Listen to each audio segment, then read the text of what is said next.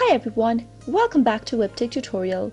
In today's video, I'm going to show you how to delete all emails on your Gmail application on your Android phone. Keep watching the video till the end and don't forget to subscribe to our channel by hitting the subscribe button. Press the notification bell icon so that you'll never miss another update from us. In order to delete all the emails from your Gmail app, first tap open your Gmail application on your Android device.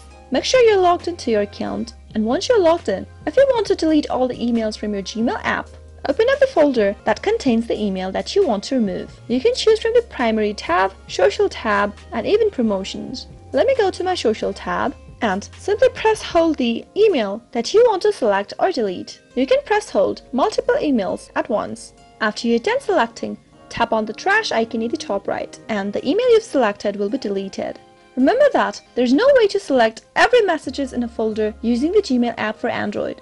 In order to remove every email on your inbox folder, you'll need to access to your Gmail account from a web browser. You'll only be able to choose multiple selection for your email and once you do that, tap on the delete icon at the top right and that way you'll be able to delete selected emails on the Gmail application on Android. If you want to quickly delete single Gmail emails, you can swipe one email after the other to remove it. To do so, tap on the horizontal lines at the top left. Now, scroll down to Settings and tap it on. Go to General Settings at the top of the screen and then tap on Swipe Actions. Tap Change right next to Right Swipe and select Delete in the list that appears. Now go back to your Gmail inbox and simply try swiping towards the right side and you'll be able to delete 13 Gmail by simply swiping through the screen. You can keep repeating the process in order to delete all the emails that you want to get rid of. That is the only way you can delete multiple emails on Gmail app, but remember that you won't be able to delete all of the emails on your inbox on your Android device. To do so,